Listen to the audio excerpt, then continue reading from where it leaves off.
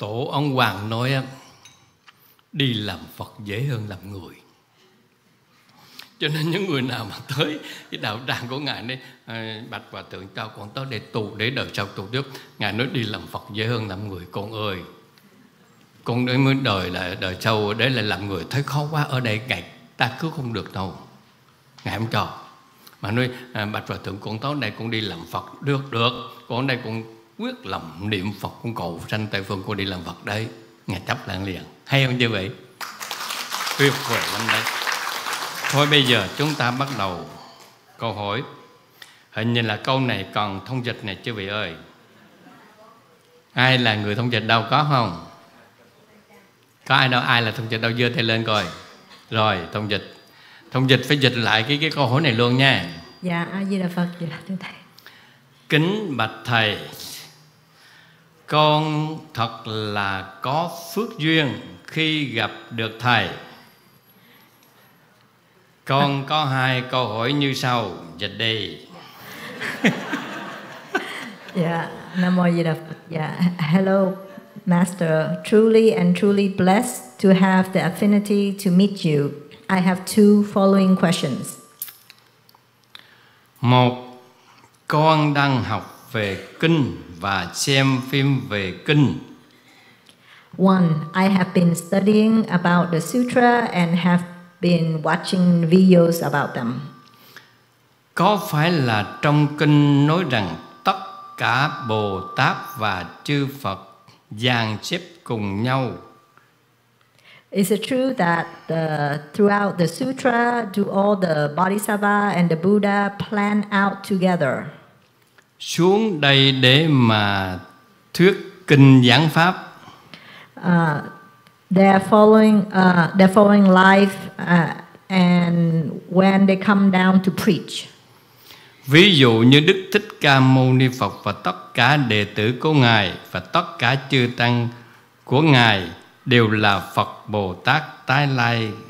Chúng đây để soạn kinh điển phải không For example, Sakyamuni Buddha and all his disciples uh, and all the monks, uh, for, uh, for example, uh, uh, all Ta- Tai Lai, uh, all return here in order to combine uh, to uh, combine the, the sutra.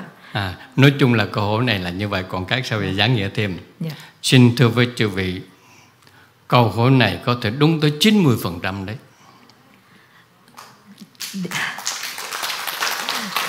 Uh, dear Sangha, this question uh, can uh, be correct up to 90%. tức là hầu hết chư Phật chư Bồ Tát ví dụ như Đức Thích Ca Mâu Ni Phật và chư Bồ Tát chư đệ tử của ngài những vị cao tăng trong cái thời của ngài hầu hết là chư Phật Bồ Tát thị hiện không đấy chư vị Uh, that means uh, all the uh, Buddhas and the Bodhisattva um, appears here uh, according to a plan. người ta đóng đủ cái vai trò có người thì đóng ác có người đóng thiện có người thì đóng đệ tử nghịch có nhiều để đóng đệ tử tuần nhưng mà thực ra người các ngài đóng tuồng để mà giúp giáo hóa chúng sanh đấy They play all the roles, some nice, some evil, um, but they play all the roles uh, to act out a play in order to um, to educate human being, sentient being. cho nên mong chư vị hiểu được như vậy đừng có vội vã đánh giá những người xấu những người tệ hại trong cái xã hội này. Coi chừng là họ là phật bồ tát người ta thể hiện để dạy mình để chư vị. Nhớ nhé.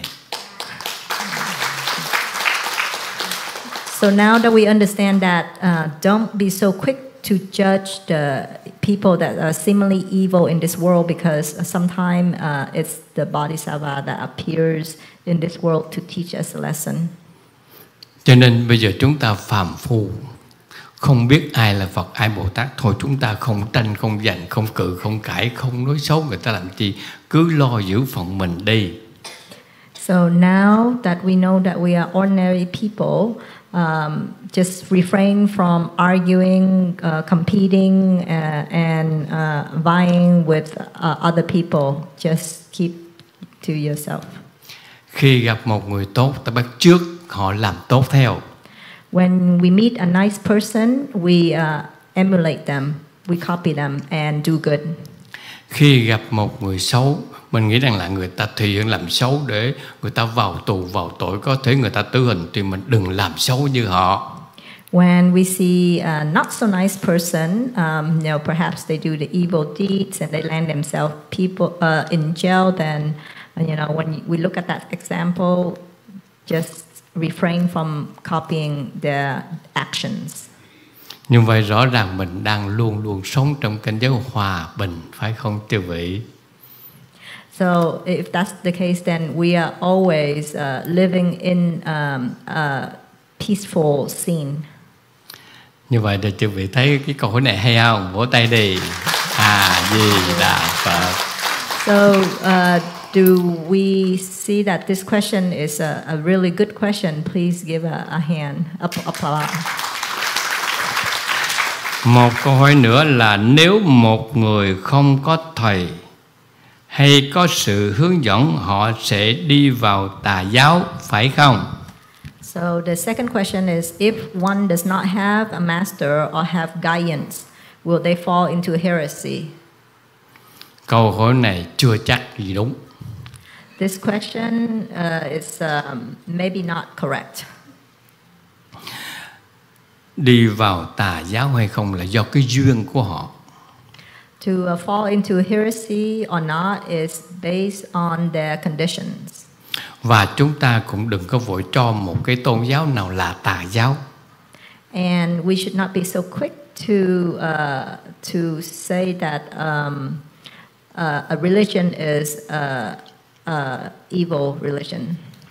và tốt nhất chúng ta tu hành hay làm cái gì còn phải nương theo một vị thầy một vị thiện tri thức để chúng ta tránh đi thì đúng So, and it's best that when we cultivate, we should uh, look to the guidance of a master or a, a, a well um, known person, and then to to show us the correct way. chứ chúng ta không đánh giá là những người nào không có thầy hướng dẫn thì người ta theo tà đạo hết thì là sai lầm hết không phải như vậy đâu. Có người rất tốt đấy. A di đà phật So we should not judge that just because a person does not have a master or someone to guide them that they are not going to be turn out well.